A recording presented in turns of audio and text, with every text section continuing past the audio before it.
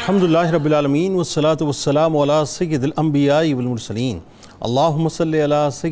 व मौलाना मुहम्मदिन व अला आलिहि व अस्हाबिहि व बारिक वसल्लम वसल्लि अलैहि दुनिया के तमाम देखने वालों को तमाम चाहने वालों को तमाम प्यार करने वालों को और जहाँ जहाँ तक इस वक्त मेरी आवाज़ को सुना और मुझे देखा जा रहा है। जुनेद इकबाल की जानब से इंतहाई मोहब्बत के साथ अस्सलाम एक बार फिर नाजरीन, आपको पुरनूर सुबह में, सुबह नूर के साथ मैं दिल की गहराइयों से खुश आमदेद कहता हूँ और आइए बिला तवक़ुफ़ चलते हैं।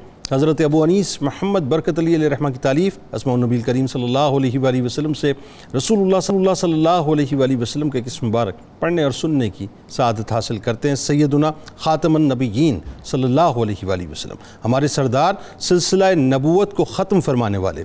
दरूद सलाम भेजे अल्लाह आप सल्लल्लाहु अलैहि वसल्लम पर। आप सल्लल्लाहु वसलम के आल पाक पर और साहबा कराम रिजवान ताला अलैहिम अजमईन पर।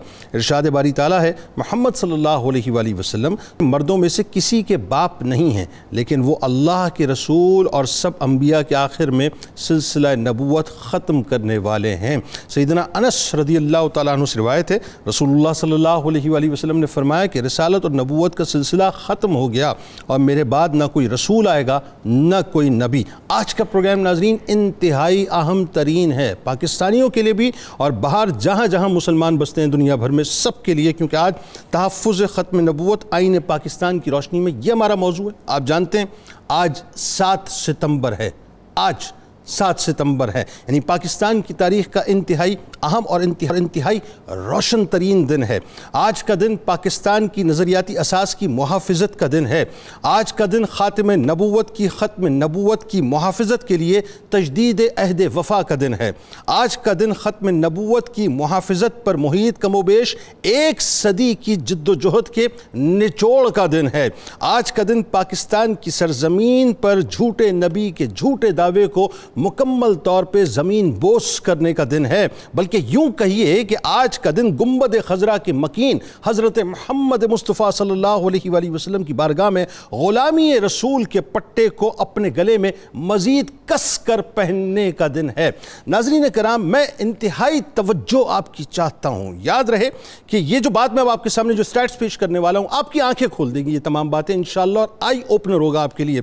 याद रहे कि बर सग़ीर में फितना इनकार ख़त्म नबूत का आगाज़ अट्ठारह में बरतानवी पार्लियामेंट के मेंबरों, एडिटरों और चर्च के नुमाइंदों पर मुश्तमिल वफद ने किया सियालकोट की एक अदालत के मुलाजिम मिर्ज़ा ग़ुलाम अहमद कादियानी को इस काम के लिए मुंतखब किया गया। इसके पीछे सारे वसाइल लगाए गए, सारी मशीनरी लगाई गई। इसको मुकम्मल तौर पर फंड किया गया, इसको मुकम्मल तौर पर प्लान किया गया और तैयार करने के लिए पहले मनाजिर इस्लाम के तौर पर इसको पेश किया गया।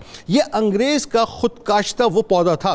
जिसने इस्लाम और बानी इस्लाम की इज़्ज़त और हरमत पर मुकम्मल तौर पर डाका न सिर्फ़ डाला, बल्कि खुल कर माजल्ला अपने नबी होने का ऐलान भी कर दिया। अब हुआ क्या? ये ज़रा सुनते जाइएगा। हुआ ये कि 1880 में उसने सबसे पहले जो दावा किया, वो ये किया कि मैं अल्लाह की तरफ़ से आया हूँ और अल्लाह की तरफ़ से मामूर किया गया हूँ। अट्ठारह में उसने मामूर मिनल्ला में मुजद और नज़ीर का इजाफा कर दिया। अट्ठारह में आदम, मरियम और अहमद होने का दावा किया माजल्ला अट्ठारह में कराम ने इस बातिल अकीदे का पर्दा मुकम्मल तौर पर चाक करके इसे दायरा इस्लाम से खारिज कर दिया और बबांग दोहल इसके खिलाफ फतवा दिया।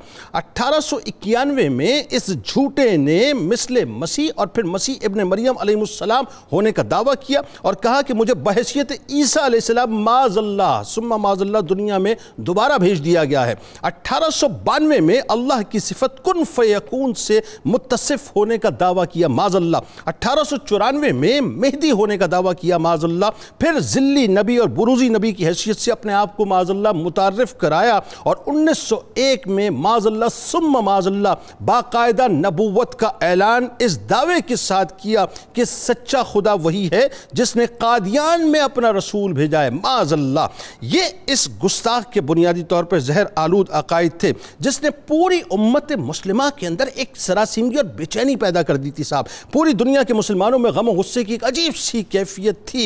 यानी बस नहीं चल रहा था लोगों के क्या कर जाएँ। वहाँ हिजाज में इमदादुल्ला महाजिर मक्की रहमत इस फितने के उठने से पहले इसकी बू को महसूस कर चुके थे। तो आपने पीर महली शाह साहब रहमा को तैयार किया कि तुम्हें इस सरजमीन पर जाकर बैठना है और इस फितने के खिलाफ काम करना है।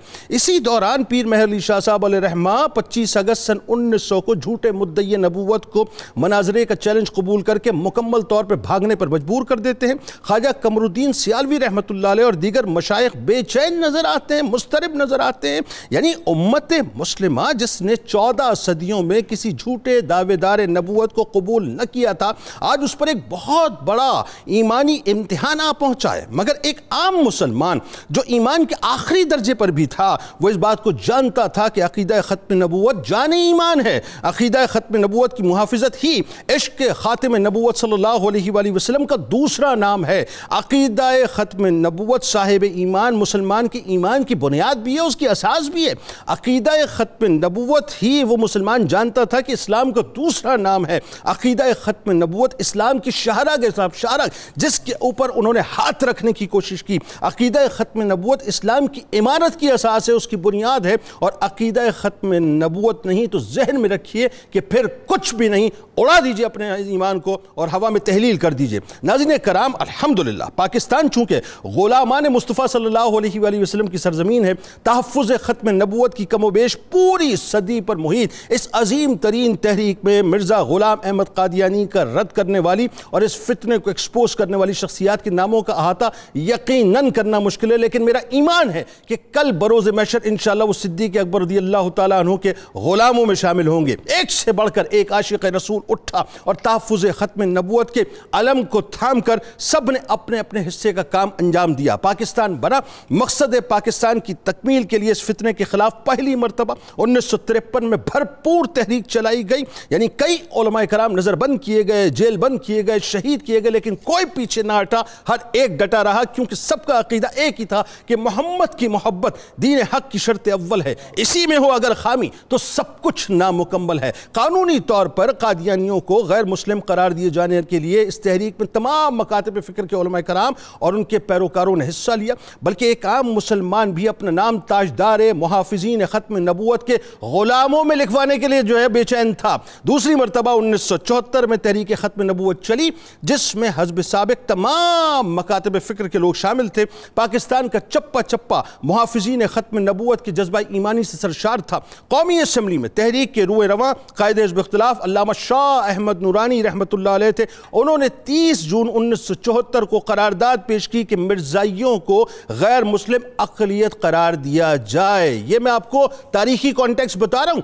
बिल आखिर सात सितंबर उन्नीस सौ चौहत्तर को जुल्फ़ार अली भुट्टो की वजारत उज़मा के दौर में कौमी असम्बली ने नज़रिया पाकिस्तान की मुहाफ़त करते हुए, यानी पाकिस्तान के अपने वजूद की जस्टिफिकेशन करते हुए मिर्जाइयों खा वो कादियानी हो या लाहौरी को गैर मुस्लिम अकलीत करार दे दिया गया। यानी यूँ कहिए कि पाकिस्तान ने और पाकिस्तानी मुसलमानों ने सिलसिला नबूत में सबसे आखिर में भेजे जाने वाले नबूत और रिसालत के आसमान पर ख़ातम नबीन के मनसब को संभालने वाले नबूत की इमारत को मुकम्मल करने वाले मा कान मोहम्मद अबा अहदम रजालकुम वला के रसूल व ख़ातम नबीन का ताज पहनने वाले, यानी मोहम्मद सल्लल्लाहु अलैहि वसल्लम तुम्हारे मर्दों में से किसी के बाप नहीं हैं, लेकिन अल्लाह के रसूल हैं और सब नबियों के आखिर में तशरीफ़ लाने वाले हैं, और अना ख़ातम नबीन ला नबी आबादी का दस्तार पहनने वाले नबी की ग़ुलामी का हक़ अदा कर दिया, अल्हम्दुलिल्लाह। इस तयन के साथ कि कल बरोज़ मैशर सरकार की शफात इन हमें ज़रूर नसीब होगी, लेकिन याद रखिएगा, ये फितना आज भी पाकिस्तान में कायम है, ये फितना आज भी पूरी दुनिया में कायम है। अब समझने की ज़रूरत यह है कि ये फितना है क्या? आज इस पर गुफ्तु करेंगे और तहफ़ ख़त्म नबूत आइन पाकिस्तान की रोशनी में क्या है? इस पर कलाम होगा। हमारे साथ इस वक्त मुमताज़ शख्सियात मौजूद हैं। मैं इन शख्सियात को अगर मुहाफ़ान ख़त्म नबूत कहूँ, अजीम मुहाफ़ान ख़त्म नबूत कहूँ तो गलत ना होगा। पहली शख्सियत आपके, हमारे हम सब के इंतहाई काबिल एहतराम हैं। अदलिया के हवाले से एक पूरी उम्र आपने इस दश्त की सयाही में गुजारी है और यकीन आपके फ़ैसले जो तारीख़ का एक बहुत रोशन हिस्सा हैं, मुमताज़ कानून दान हैं। और अगर मैं इन्हें अजीम मुहाफ़ ख़त्म नबूत कहूँ तो गलत ना होगा। जस्टिस रिटायर्ड नज़ीर अख्तर मियाँ साहब हमारे साथ तशरीफ़ फरमाएँ। आपको खुश आमदेद। बुज़ुर्ग हैं आप हमारे। दूसरी शख्सियत भी एक ऐसी शख्सियत है जो अजीम मुहाफ़ ख़त्म नबूत ने पूरी ज़िंदगी सरकार आसमाम की ख़त्म नबूत के तहफ़ के लिए गुजार दी।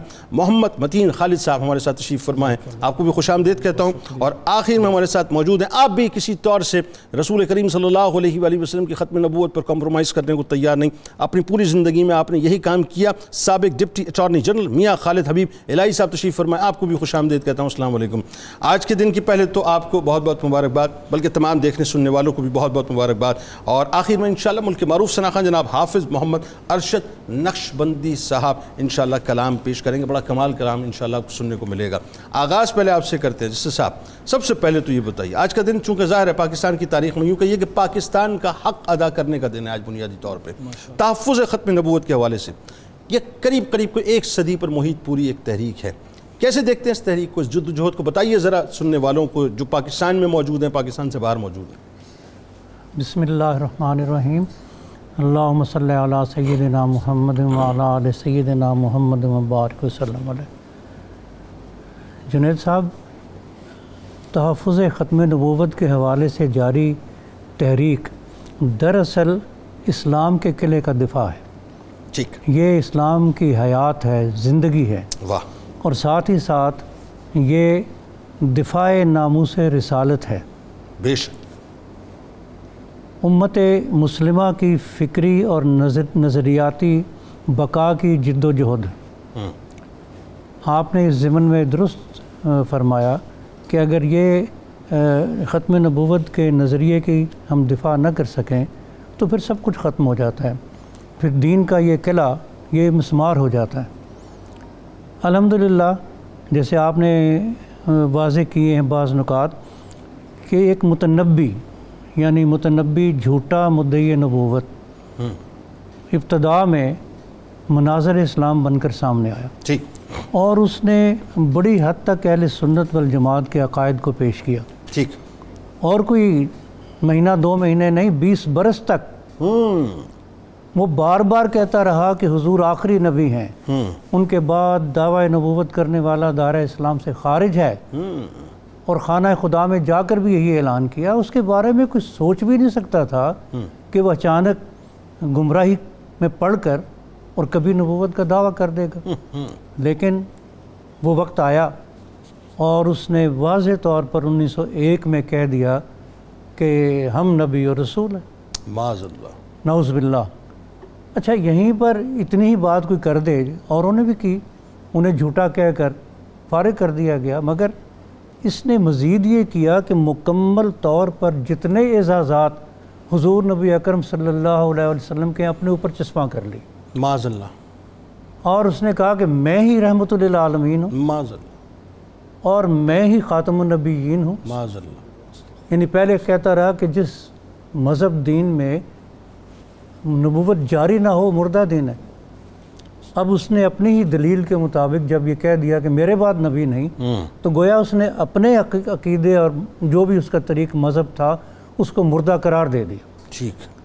अब ये नुक्ता जब जहन में मौजूद हो तो फिर ये समझ आती है कि उलमाए कराम ने किस कदर शानदार रोल अदा किया। बेशक इस पर कोई दूसरी राय पहला जो वाज फतवा इसके ख़िलाफ़ अट्ठारह सौ तिरासी में अलामा ग़ुलाम दस्तगीर कसूरी ने दिया। वो भाप गए थे अभी इसके मज़ीद जो दावे थे, बाद में आने थे उन्होंने अपनी चश्मे बातिन से देख लिया कि ये तो नबूत की राह पे जा रहा है इस फतवे की, तोसीक की हरमैन ने अट्ठारह में।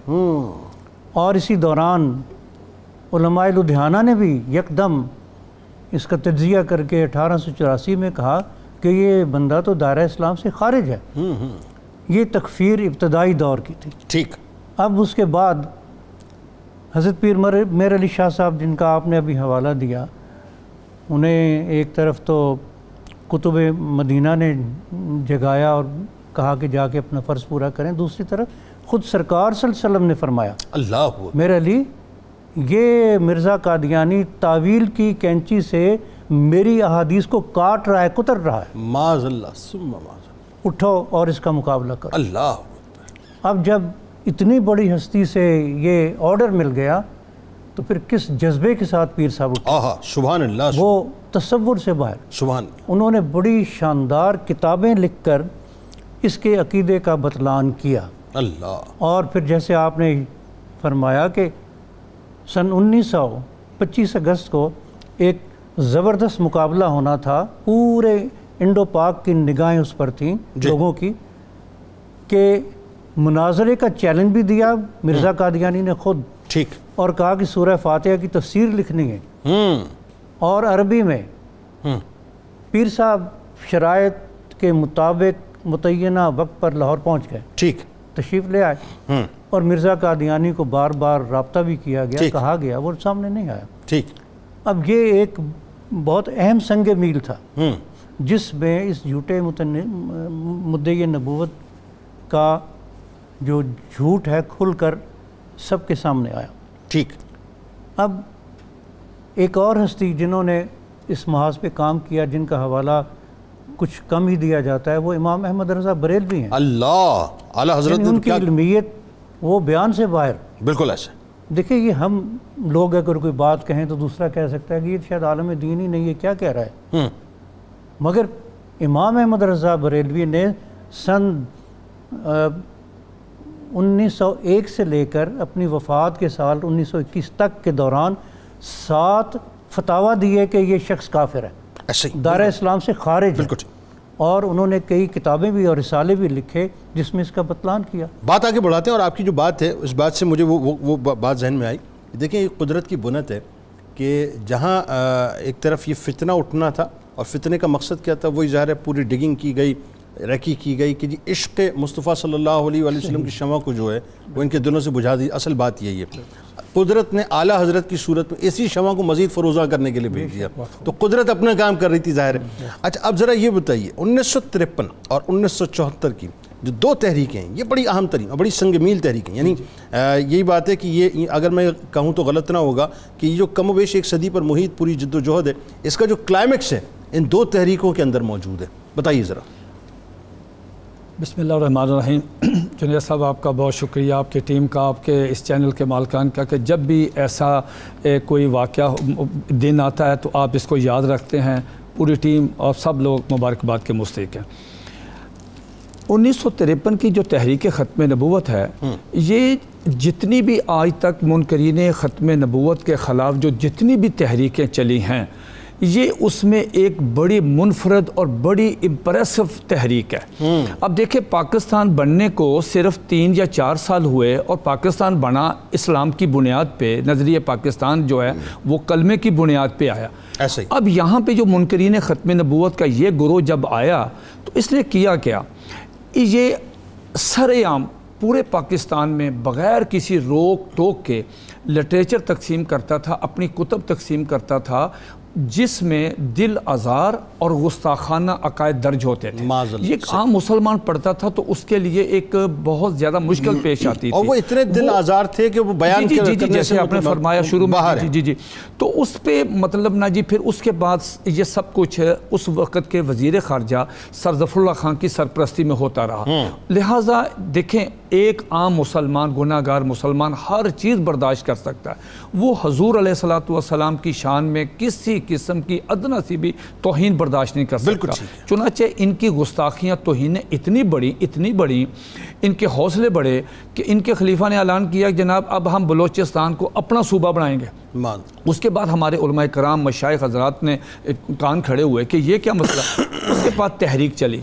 उस तहरीक में पाकिस्तान के तमाम उलमाए कराम ने मशाइजाम ने तमाम मसालक के भरपूर हिस्सा लिया। लेकिन उस तहरीक के जो सरबरा थे मौलाना अबुलसना शाह साहब रहमत उनके साहबजादे मौलाना खलील कादरी साहब जिनको सजाए मौत भी, भी हुई हाँ, फिर मौलाना अब्दुल खान न्याजी रहमत उनका बड़ा कलीदी रोल है। लेकिन कैसा जुमला आपने कि अल्लाह ताला एक अदना सा हदिया मेरा जो है कबूल फरमाया अपनी जी जी जी जी जी। हाय। उनसे पूछा जब जेल से रहा होकर पूछे कि आपकी उम्र कितनी है तो उन्होंने कहा कि मेरी उम्र सिर्फ़ उतनी है जितनी मैं जेल में नबी वसल्लम की इज़्ज़त और नमूस के लिए काट के आया हूँ। ये मेरी असल उम्र ये है। बाकी उम्र अच्छा ये वज़ीर खान मस्जिद जो था ये इसका बेस था। इस तहरीक चली इस तहरीक के नतीजे में मुतालबे क्या थे? दो मुतालबे। कि कादियानियों को पाकिस्तान के आइन और कानून की रोशनी में इनके कुफरी अकायद की बिना पे इनको गैर मुस्लिम अकलीत करार दिया जाए ठीक है। सेकेंडली कहा कि सर जफरुल्ला अपने इख्तियार का नजायज़ फ़ायदा उठाता है लिहाजा इनको अहदे से बरतरफ किया जाए बिल्कुल ठीक। ये तहरीक चली दस हज़ार मुसलमान मनीर इंक्वायरी रिपोर्ट के मुताबिक दस हज़ार मुसलमान आपके इस लाहौर शहर में शहीद हो गए अल्लाह। लेकिन कुछ ना हुआ। बड़े ईमान अफरोज़ उसमें वाक़ात हुए तहरीक में बहुत अल्हम्दुलिल्लाह। उसके बाद ये तहरीक चलती चलती चलती ये लोग अपनी सरगर्मियाँ उसी तरह अकलीत हो के अक्सरियत के जज्बात उनके मजहबी जज्बात को मजरू करते रहे। उसके बाद उन्नीस सौ चौहत्तर है बाईस मई उन्नीस सौ चौहत्तर को बाईस मई निश्तर मेडिकल कॉलेज के तलबा का एक ग्रुप सैर करने के लिए मुल्तान से शुमाली इलाका जात पिशावर पिशावर जा रहा। ये जब रबुआ रेलवे स्टेशन पे गाड़ी रोकी तो इनको एज़ यूजल इनका हसब मामूल इन्होंने उस गाड़ी के मुसाफरों को अपना दिल आज़ार गुस्ताखाना लिटरेचर जिसमें मिर्ज़ा कादियानी की नबूवत थी जो शुरू में आपने फरमाया ये ये लिटरेचर तकसीम तकसीम किया। उन्होंने ये लिटरेचर लेने से इनकार किया। यानी इतनी तो- दीदा दिलेरी थी। जी जी दीदा उसके बाद वहाँ नारेबाजी हुई। उस नारेबाजी इतनी दिल आज़ाद नारेबाजी हुई कि आप सोच भी नहीं सकते। उसके बाद ये चले गए। इन्होंने कहा कि ये हमारी बिजती है, कि इन्होंने लिटरेचर लेने से क्यों इनकार किया? ये रबुआ शहर जो था, ये रियासत के अंदर रियासत है। कोई आदमी पाकिस्तान का जितना मर्ज़ी वो मतलब बासर हो, वो शहर में दाखिल नहीं हो सकता था। लिहाजा जब गाड़ी वो वापस आई, फिर उस रेकी रेकी की गई, उस डब्बे की, उन बच्चों को निकाल के एक एक तालब इलम को शदीद पीटा गया मारा गया उन पर जुल्म तशद किया गया कि हाँ हाँ आपने हमारे हुक्म अदूली क्यों की?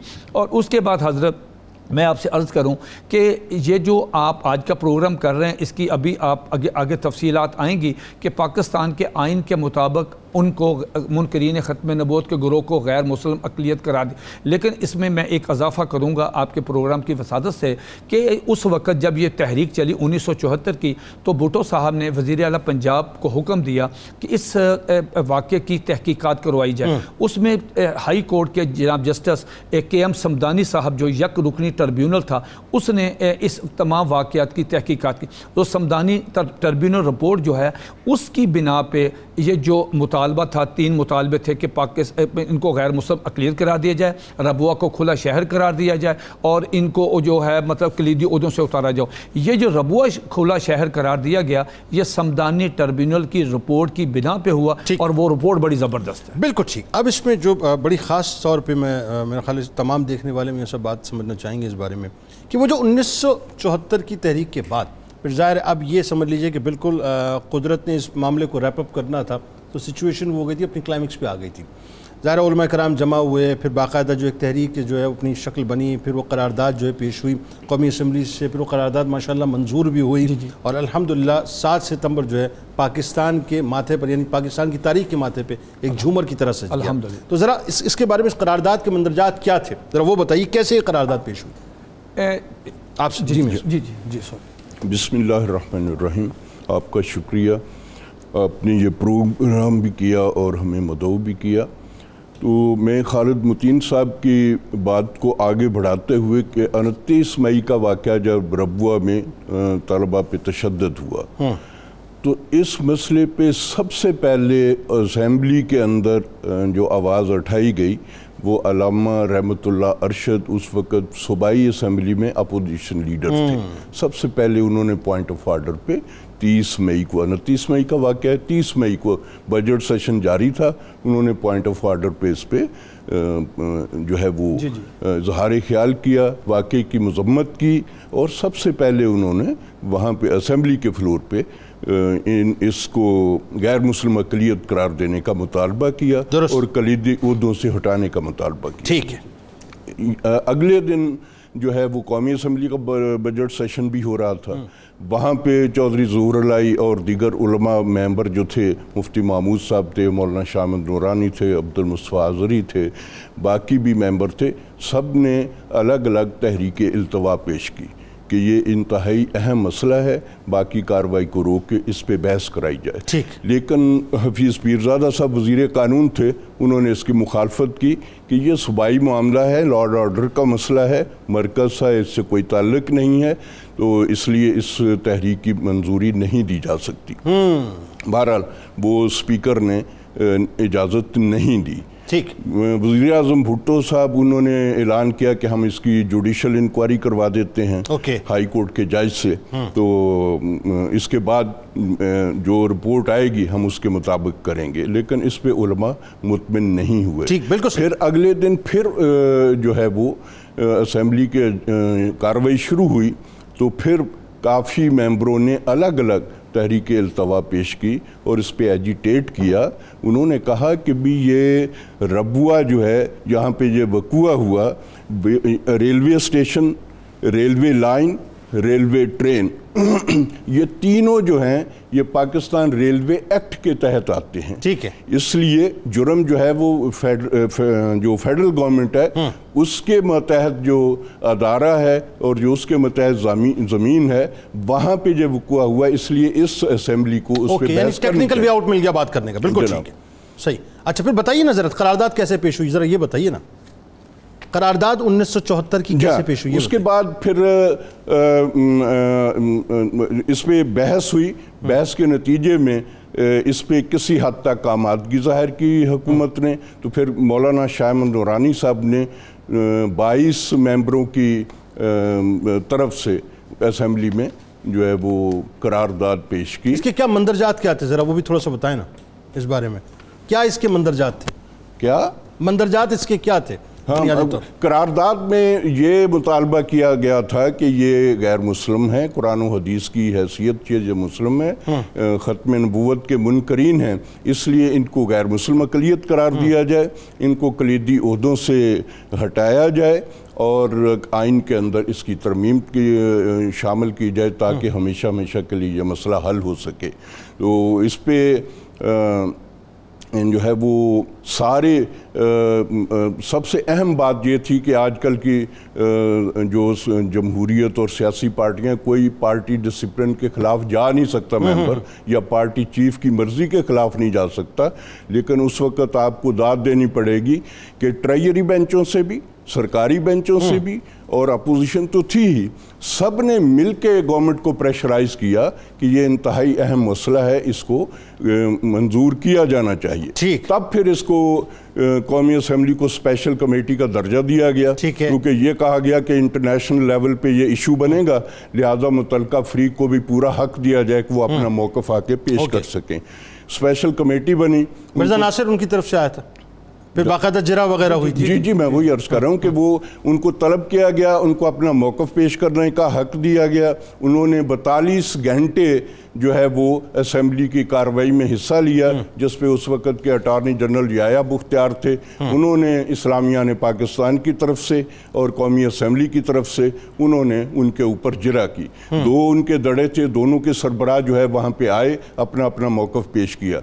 लेकिन वो पूरे हाउस को मुतमिन ना कर सके और पूरे हाउस ने इतफाक़ राय से उस करारदाद को मंजूर किया और बाद ये सात सितंबर का वाक़ है और फिर सत्रह सितंबर को आइनी तरमीम जो है, वो मंजूर हुई। ओके, यानी आइन के मुताबिक गुलाम अहमद कादियानी के नज़रिया और उसके मानने वाले जितने हैं या वो खुद जो हैं वो दायरे इस्लाम से खारिज भी हैं और अकलियतों में शुमार होते हैं पाकिस्तान। ऐसा ही है बिल्कुल। ठीक कोई आप जुमला कोई कहना चाह रहे थे मुझे जी, वक्फे में अर्ज़ करना सर अब इसमें शायद दिलचस्पी थोड़ी सी पैदा कर हाँ, कि वो मिर्ज़ा नासर के साथ जो जिया बख्तियार अटॉर्नी जनरल साहब हाँ, का हाँ। भुट्टो साहब की मौजूदगी में पूरी असम्बली में ये तेरह दिन की बहस हुई। अच्छा वो ना जैसे मुनाजरा करते हैं शातर आदमी बचता था तो जो पॉइंट पूरी असम्बली के लिए और भुट्टो साहब फरूक अली खान स्पीकर साहब अब्दुल फील पीरजादा ये सब अदा उनके लिए जो बड़ी शॉकिंग जो बयान आपके प्रोग्राम की बताना चाहूँ कि ये रिपोर्ट शाया हो चुकी है। उसमें जस्टिस साहब और हबीब लाई साहब इसको करेंगे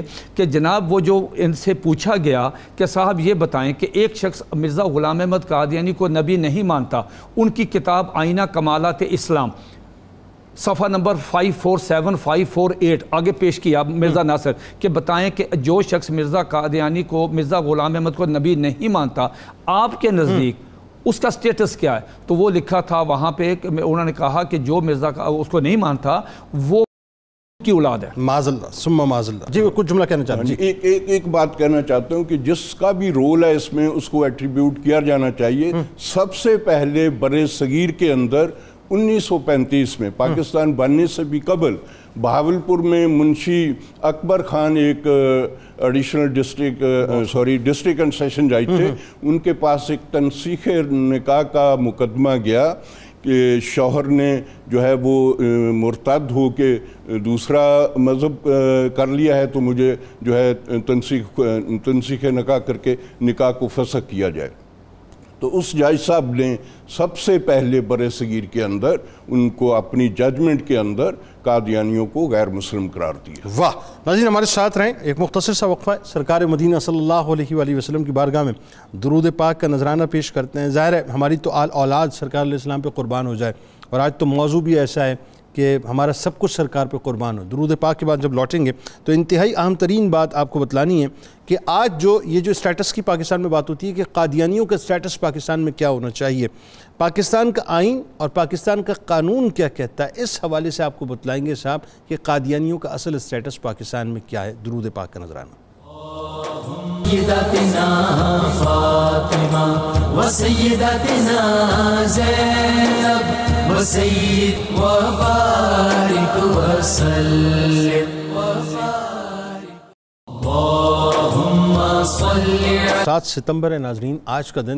पाकिस्तान की तारीख का इंतहाई अहम तरीन दिन है जिन लोगों ने अभी हमें ज्वाइन किया है जहन में रहे कि आज तहफ़ ख़त्म नबूत आइन पाकिस्तान की रोशनी में ये बुनियादी तौर पर हमारी गुफ्तु है। और कादियानियों का पाकिस्तान के अंदर क्या स्टेटस है आइन और कानून की रोशनी में? ये ज़ाहिर है पाकिस्तानी अवाम भी समझना चाहते हैं। ज़ाहिर एक आम आदमी जिसको पता ही नहीं है साहब कि इसका बैकग्राउंड क्या है। या पाकिस्तान से बाहर बैठे हुए यूरोप में हमारे नौजवान ख़ास तौर पे, जिनको ये पता ही नहीं है साहब कि ये मामला हुआ क्या है और अमूमन वो ट्रैप हो जाते हैं अकायद के अतबार से, उनको भी पता होना चाहिए कि उनका असल स्टेटस क्या है। ज़रा जैसा भी बताइए कि कादियानियों के बारे में बड़ा मतलब कैटेगोरिकल सवाल है। मैं चाहता हूँ इस पर ज़रा तफसील लोगों को बताइए कानून की और आइन की रोशनी में अगर मैं पूछना चाहूँ कि पाकिस्तान में उनका मकाम उनका स्टेटस क्या है तो क्या है वो? जी उनका मकाम पाकिस्तान में इस वक्त तो एक गैर मुस्लिम अकलीत का है। ठीक है। ये इब्तदा में जब जो लोग कन्वर्ट हुए थे वो तो गैर मुस्लिम भी थे और मुर्तद थे। लेकिन ये जो एक सदी से जायद का अरसा गुजरा है इनकी नस्ल दर असल दर नस्ल पैदाइशी गैर मुस्लिम हैं। ओके यानी अब वो मुर्तद नहीं है लेकिन बाय बर्थ गैर मुस्लिम है मुर्तद तो हम नहीं कहते लेकिन गैर मुस्लिम जो दस्तूर में और कानून में है और शरन जिंदीक हैं। हम्म, जिंदीक वो है जो बज़ाहिर आपको कहेगा सही बात कि मैं ख़ातमनबीन मानता हूँ। ऐसा ही। उसमें माने में तारीफ़ कर देगा। और यही वो कहते हैं उनका जो तरीक़ा वारदात है वो यही है। जी ऐसा ही है जी कि उन्होंने साढ़े तीन सौ से जायद तहरीफ़ात मानी में की हैं। हम्म, और जिंदगीत का मुजाहरा किया। बिल्कुल ठीक है। अब जब असम्बली की करारदाद जो उस वक्त के वज़ीर कानून अब्दुल हफीज़ पीरजादा ने पेश की थी उसको मंजूर किया गया वो सिफारशात थी ठीक है। कि एक आर्टिकल 106 में तरमीम की जाए उसमें गैर मुस्लिमों की सीटें हैं।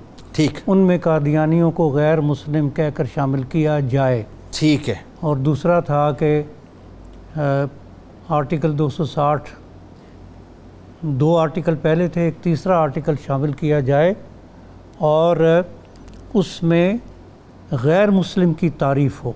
ठीक है। वो तारीफ़ जो शामिल की गई है वो ये थी कि ऐसा शख्स जो ख़ातमुलम्बिया हज़रत मोहम्मद वसल्लम की हतमी और गैर मशरूत ख़त्म नबूवत को नहीं मानता या लफ्ज़ के किसी भी मफहम और शक्ल में हज़रत मोहम्मद सल्लल्लाहु अलैहि वसल्लम के बाद नबी होने का दावा करता है या ऐसे दावेदार को नबी या मजहबी मुस्लिम मानता है। हम्म, इस आइन या कानून के मकासद के लिहाज से वो मुसलमान नहीं है। ओके यानी कैटेगोरिकल है बात। जी। ठीक। अब इसमें एक नुक्ता जो समझने का है। कि जो लाहौरी हैं वो ये कहते हैं कि हम तो नहीं नबी मानते हमें क्यों काफिर कहते हो? अच्छा। हम तो उसे मुजद्दद मानते हैं। ओके। अब यहाँ ये जो तरमीम आई उसमें कहा गया कि जो मुद्दई नबूवत है उसको कोई गिरोह अगर मुजद भी माने तो वो काफिर है। क्योंकि वो मुद्दई नबूवत है। क्योंकि वो मुद्दई हाँ। अब बात यह है कि 1901 में मिर्ज़ा गुलाम अहमद ने नबी होने का दावा किया। ठीक है। इसके चंद बरसों के बाद वो ऑर्डर जारी कर दिया कि जहाँ जहाँ नबी लफ्स पैगंबर रसूल लिखा है उसे कटा हुआ समझें वहाँ मुजद लिखा हुआ समझें। ये मतलब समझें। ये बाद की बात है ना? हाँ। यानी तकफीर तो उसकी 1901 में हो गई। हो गई थी बिल्कुल ठीक है। अब एक गैर मुस्लिम को मुजद इस्लाम का मानना ये कहाँ जायज़ है? और वो तो ग्रेजुअली चला ना वो तो मामूर मिनल्ला से शुरू हुआ और नबूत का दावा उसने कर दिया। एग्जैक्टली हाँ।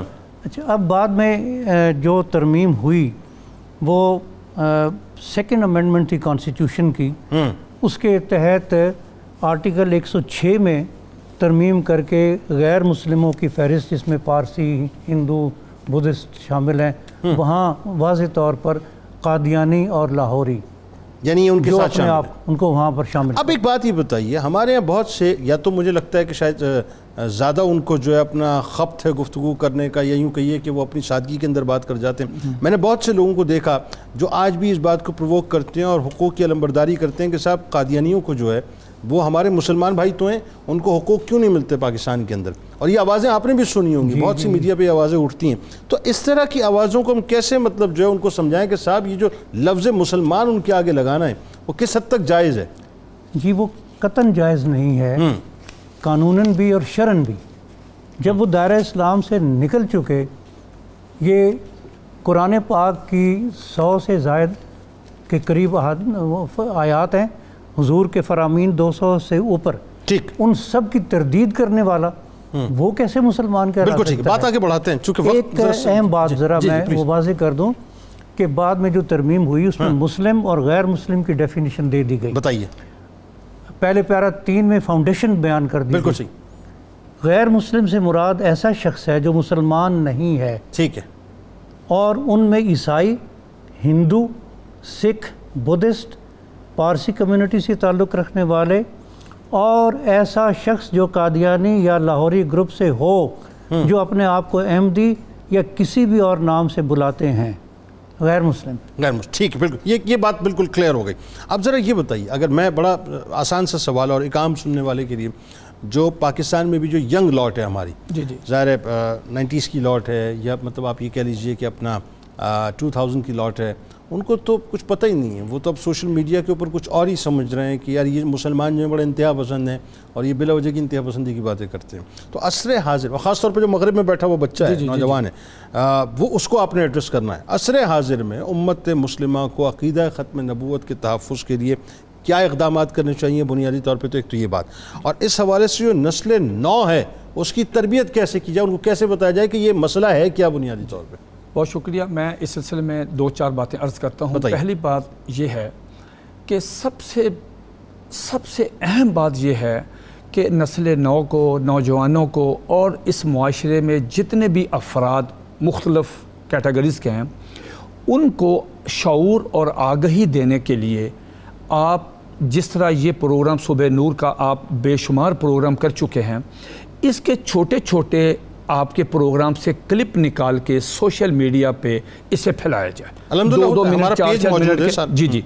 इसके बाद आसान लफ्ज़ों में बेहतरीन किस्म का आइन और कानून की रोशनी में मुदल लिटरेचर बनाया जाए और वो लिटरेचर तकसीम किया जाए। जब तक लोगों को शौर और सारी मालूम नहीं आएँगी उस वक्त तक उनको पता नहीं चलेगा कि मसला मसले का हल क्या है। और ये मसला हमारा इनसे डिस्प्यूटेड क्या, क्या डिस्प्यूट क्या है। दूसरी बात मैं नौ नस्ल नौ जो हमारे मुसलमान भाई हैं चाहे यूरोप में रहते हैं पाकिस्तान में मैं उनसे एक दरख्वास्त करता हूँ। कि जब भी आपने किसी भी मौजू पे बात करनी है इनसे जब इनको बात करने का बहुत शौक होता है मुनकरीन ख़त्म नबूत को वो सोशल मीडिया पे वैसे भी। तो इसके लिए आपके पास इलम होना चाहिए। बिल्कुल सही। अगर आपके पास इलम नहीं है तो आप उनके साथ बात ना करें। लेकिन नबूवत की दलील नहीं मांगनी जी जी जी जी जी नो नो नो नबूवत की दलील नहीं तो सवाल ही नहीं पैदा इमाम अबू हनीफा रहमतुल्लाह अलैह का फतवा है। जी जी जी जी। हाँ, और ये भी ख्याल करना है जी जी और दूसरी बात ये हज़रत कि पाकिस्तान में अगर किसी जगह पे भी कोई भी कादियानी शायर इस्लामी इस्तेमाल करता है।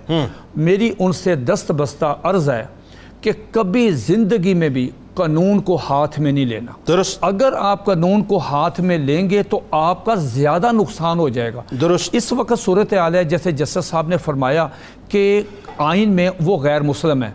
उसके बाद आइ- ताज़ीरात पाकिस्तान की दो सौ अठानवे सी और दो सौ अठानवे बी। ये ताजी ये ये ये दफ़ा ताज़ीरात पाकिस्तान की पाकिस्तान पिनल कोड की कहती है कि कोई भी मुनकर ख़त्म नबू जो ये ग्रोह है ये किसी किस्म का शार इस्लामी इस्तेमाल नहीं कर सकता। अगर ये इस्तेमाल करता है आपके साथ आइन खड़ा है आपके साथ कानून खड़ा आपके पास सुप्रीम कोर्ट के फैसले खड़े आपके साथ हाई कोर्ट्स के फैसले खड़े हैं। अगर कोई पूरे मुल्क में अगर कोई शख्स ऐसा करता है कानून- आसान करके लोगों को शायर इस्लामी से मुराद आप शायर इस्लामी से मुराद है कोई कादियानी अपने आप को मुसलमान ये कानून लिखा हुआ है। को- ताज़ीरात पाकिस्तान की दो सौ अट्ठानवे C two nine eight C. कोई भी अपने मुनकर अपने आप को वो मुसलमान नहीं कह सकता। ओके। अपने आप को एज ए मुस्लिम पोज नहीं कह पोज सकता। है। अजान नहीं दे सकता तब कलमा नहीं लिख सकता। हाँ। शायर इस्लामी इंशाल्लाह माशाल्लाह नहीं कह सकता। ये शायर इस्लामी है मुसलमानों के हैं। क- कोई ऐसा ये आईने पाकिस्तान का हिस्सा है। जी ये आईने पाकिस्तान के बाद ताजीरात पाकिस्तान पाकिस्तान का और फिर सुप्रीम पाकिस्तान की सुप्रीम कोर्ट और जनाब जस्टिस साहब के जो फैसले हैं उसको उन्होंने तस्दीक किया। अगर कोई करता है तो उसका हल क्या है। उसका हल ये एक एप्लीकेशन लिखें। अपने मस्जिद के खतीब साहब को लें कौंसल को लें पुलिस स्टेशन जाएँ डीपीओ को मिलें डीएसपी को मिलें शाला आपका मसला हल होगा। यानी असल बात यह कि कानूनी रास्ता आप इख्तियार करें। कानूनी वायलेशन से हमें बचना जी, जी, चाहिए। जी, जी, जी। और ये ये ज़ाहिर ये दौर भी वो है कि जहाँ पर मेरा ख्याल है मियाँ साहब अब हमें समझ लेनी चाहिए बात कि हमें जितना हम महजब कौम बन के हम अपने केस को कानून के दायरे में और आइन के दायरे में पुटअप करेंगे वो ज़्यादा बेहतर है। आखिर में अगर फ़र्स्ट यही बात इसी बात को अगर हम टो कर लें कि अगर कोई कादियानी पाकिस्तान के अंदर एग्जिक्यूरेशन करता है आइन और कानून को वायलेट करता है तो उस सूरत के अंदर पाकिस्तान का कानून क्या कहता है? और एक आम शहरी को एक आम मुसलमान को इस सिलसिले में क्या करना चाहिए? बताइए ज़रा। देखें ताज़ीरात पाकिस्तान के अंदर पहले से एक दफ़ा मौजूद थी दो सौ पचानवे ए। ओके। अगर कोई भी दूसरे मुसलमानों की दिल आज़ारी करता है मज़हब के हवाले से डेरोगेटरी रिमार्क्स देता है तो उसको 10 साल की सज़ा उसमें तजवीज़ की गई। ओके। लेकिन उसमें एक प्रॉब्लम यह है कि वो कोई प्राइवेट आदमी एफ़ आई आर दर्ज नहीं करवा सकता। ठीक। वो फेडरल गवर्नमेंट को या प्रोविंशियल गवर्नमेंट को कहेगा वो उस पर एफ़ आई आर करवाएगी जो जो उनका नोमिनेटेड नुमाइंदा करवाएगा। इसके बाद जो दो सौ पचानवे सी बनी दो सौ अठानवे ए दो सौ अठानवे बी दो सौ अठानवे सी ये इसके मुतलका है। अगर आप वसल्लम की नबुव्वत के बारे में आपकी ज़ात मुबारक के बारे में कोई डेरोगेटरी रिमार्क्स देता है कोई भी देता है तो वो दो सौ पचानवे सी अट्रैक्ट करती है। उसके तहत एफ़ आई आर होगी प्राइवेट आदमी एफ़ आई आर करा सकता है। और उसके तहत पहले जो कानून 85 में बना था उसमें सजाए मौत या उम्र कैद उसमें तजवीज़ की गई थी। लेकिन बाद में फिर हमारी एक मारूफ वकील थे असमाइल कुरैशी साहब उन्होंने फेडरल शरीयत कोर्ट में इस पर पिटीशन की कि इसकी ऑल्टरनेटिव सज़ा नहीं है। ठीक है। ये हद के तौर पे नाफज होती है। ओके। तो ये सजाए मौत ही है। उसमें सारे उलमा कराम को सारे मसाले के उलमा कराम को ज्योरिस्ट को सबको मदऊ किया। फेडरल शरीयत कोर्ट ने और सबके समात करने के बाद उन्होंने ये करार दिया कि अल्टरनेटिव सज़ा नहीं हो सकती। इसकी सज़ा सिर्फ़ सजाए मौत है। लेकिन फिर उन्होंने एक डेडलाइन दी कि इस तारीख तक ये ताज़ीरात पाकिस्तान से अल्टरनेटिव सज़ा जो है उम्र कैद उसको हज़फ किया जाए डिलीट किया जाए। और अगर गवर्नमेंट नहीं करेगी तो ये उस दिन से ये लॉ के तौर पे जजमेंट ऑपरेट होगी। ओके। लेकिन अफसोसनाक बात यह है कि ताज़ीरात पाकिस्तान के अंदर आज भी अल्टरनेटिव सज़ा सजाए उम्र कैद की। आज भी वो लफ्ज़ मौजूद हैं। गवर्नमेंट को ये ज़रूरत किसी को नहीं है कि उनको ख़त्म कर दे और फेडरल शरीयत कोर्ट की जजमेंट को नाफज करे। यानी आज तक उस वर्ड को खारिज नहीं या उसके अंदर मौजूद है मौजूद। लेकिन वो कोर्टें उसको नहीं मानती क्योंकि फेडरल शरीयत कोर्ट का फैसला हाँ। है। लेकिन स्टैच्यूट के अंदर वो मौजूद है। ठीक। इसी तरह जैसे भाई खालिद मुतीन साहब फरमा रहे थे कि दो सौ दो सौ अठानवे ए दो सौ अठानवे बी दो सौ अठानवे सी ये फिर बाद में ये अनेक्टमेंट हुई ये पार्लियामेंट ने पेश पास किए बिल और ये ताज़रात पाकिस्तान का हिस्सा बने कि अगर वो शायर इस्लामी अगर जैसे अ, हमारे खुलफा राशदीन हैं साहब इकराम हैं उमहातुलमोमिनीन हैं अहले उनके बारे में जो है वो डेरोगेटरी रिमार्क्स दें तो उनको तीन साल की सज़ा तजवीज़ की जो कि कम है। ठीक। इसको बढ़ाना बढ़ाना चाहिए। बिल्कुल ठीक। इसी तरह बिल्कुल दो सौ अठानवे बी में है कि वो अपने आप को उनके जो हवारी हैं वो अपने आप को खलीफा नहीं कह सकते सहाबा नहीं कह सकते उम्मुल मोमिनीन नहीं कह सकते। वो खुद खलीफातुल उनके सरबरा खलीफातुल मुसलमीन या खलीफातुल मोमिनीन नहीं कहलवा सकते। इसकी सजा भी अगर वो ये वायलेट करते हैं तो इसकी सजा भी तीन साल है। जो कि बहुत ये कम- भी कम है। बहुत कम। ये भी कम है। बहुत कम। और इसी तरह सी में उनको तबलीग से रोका गया है कि आप जो है वो अपने मज़हब की तबलीग यहाँ पे नहीं कर सकते। तो उसकी सजा भी जो है वो तीन साल वो भी कम है? वो भी कम है। हाँ। इस सजा को कम अज कम सात साल होना चाहिए। कम अज कम। तब जाके ये इस मसले पे कोई रुकावट पैदा और एक और जो अहम तरीन बात है। मतलब इंतहाई अदब के साथ कि इस सज़ा को न सिर्फ़ सात बरस का होना चाहिए जैसा आपने फरमाया बल्कि इसकी इम्प्लीमेंटेशन भी होनी चाहिए। असल तो बात यह है ना सही बात। कि हमारे केसेस जो हैं वो अगर खातों की नज़र हो जाएँ तो फिर तो ज़ाहिर है दीदा दिलेरी जो है मजीद बढ़ जाती है ना।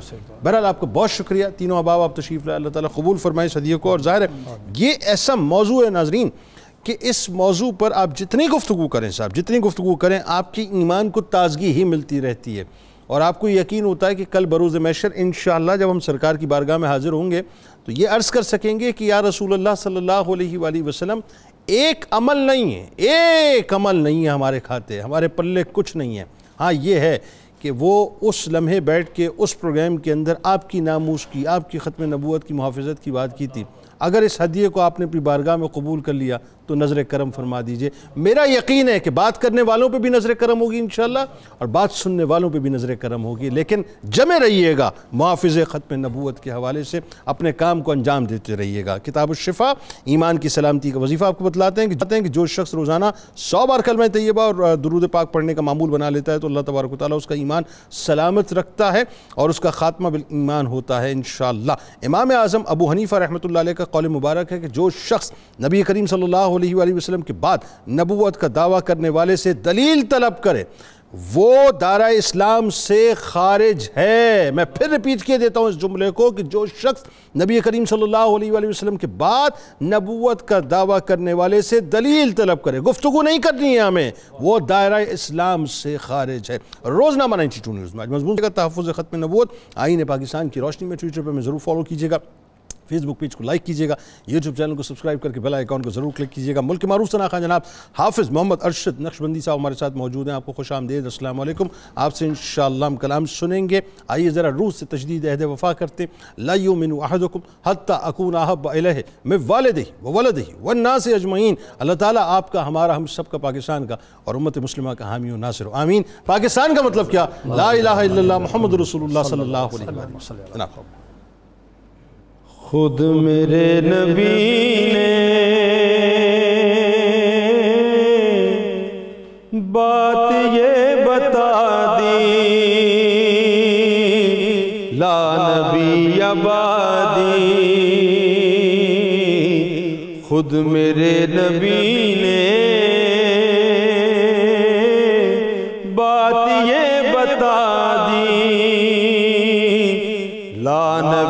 आबादी हर जमाना सुन ले। ये नवाए हादी। ला नबी आबादी लम्हा लम्हा उनका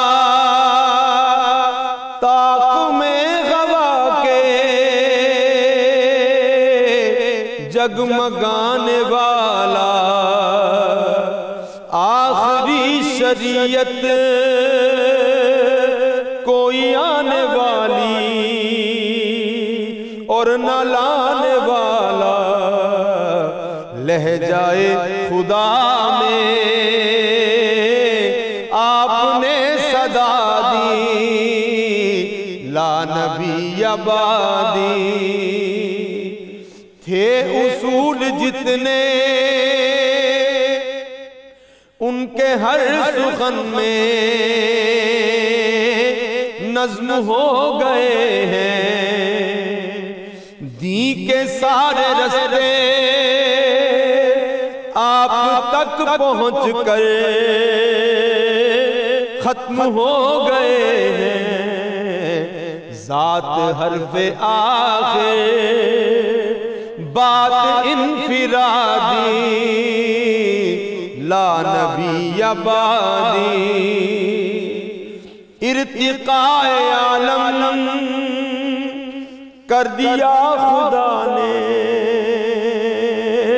सिर्फ़ नाम के उनकी खुश नसीबी जिनके हैं वो आका।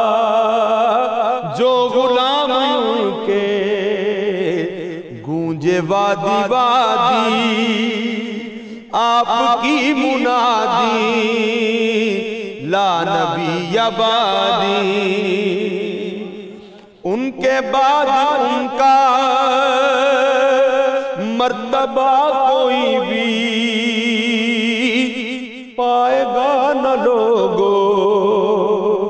जिल्लिया अब कोई पयंबर